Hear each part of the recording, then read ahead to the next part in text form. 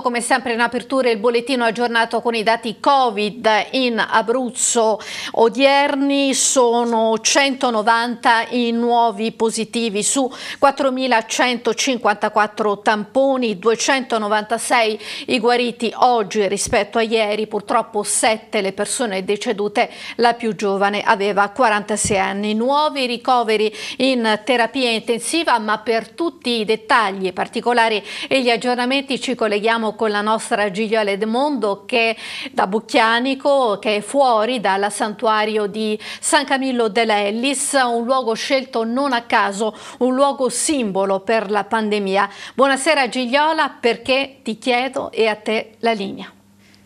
Sì, Antonella, buonasera. Con Andrea Berardinelli ci troviamo a Bucchianico, la patria di San Camillo dell'Ellis, protettore dei malati e degli operatori della sanità. Ci troviamo all'interno del chiostro del santuario dove domenica prossima, eh, in occasione della Domenica delle Palme, eh, Rete 8 seguirà in diretta la messa che sarà celebrata alle ore 10 dall'Arcivescovo della Diocesi di Chietivasto, Bruno Forte e saranno le telecamere di Rete 8 a seguire la Santa Messa, ma ricordo anche che durante tutto il periodo della Quaresima le messe che vengono celebrate all'interno di questo santuario eh, vengono trasmesse in diretta e viste da tutto il mondo. E per quanto riguarda invece eh, i dati sui contagi da Covid-19 in Abruzzo, dal report dell'assessorato regionale alla sanità emerge che oggi si registrano 190 nuovi positivi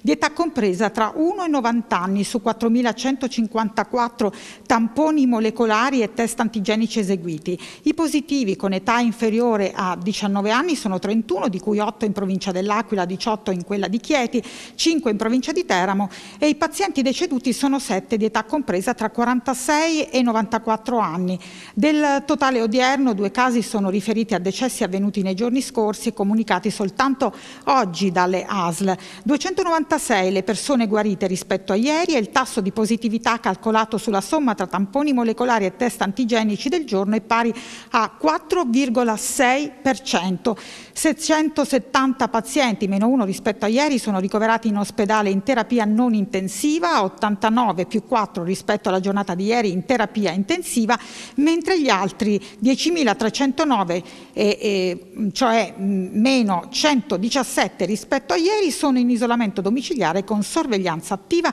da parte delle ASL. Questa in estrema sintesi è la situazione contagi in Abruzzo. Antonella, se non hai eh, delle domande io ti restituirei la linea eh, salutando e ringraziando Andrea Berardinelli e i camigliani che ci ospitano perché come tutti sanno San Camillo dell'Ellis eh, è il fondatore anche dell'Ordine dei Camigliani che svolge missioni e opere in tutto il mondo e che, eh, al quale in questo periodo di eh, pandemia da Covid-19 eh, si rivolgono in tanti mh, mm, e molti pregano San Camillo affinché eh, possa eh, salvaguardare la propria salute e soprattutto eh, allontanare prima possibile la pandemia.